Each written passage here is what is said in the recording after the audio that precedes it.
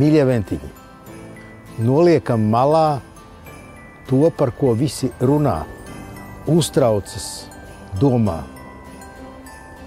Apkārt ir gaišums, uguntiņas, eglis, krāšņi rotājumi.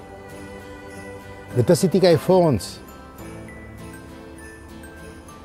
Prieks, gaidīšanas mirklis ir klāts ir Kristus dzimšanas diena. Mēs visi esam laimīgi cilvēki, ka mēs dzīvojam Ventspīlī, Latvijā, pasaulē. Šajā laikā tik daudz labu, kas izdarīts. Ir palīdzēts tuvākam un tālākam. Priecāsimies, ka mums ir daudz kas izdevies ar Dieva svētību. Mīļie! ir burvīgs brīdis, Ziemassvētki.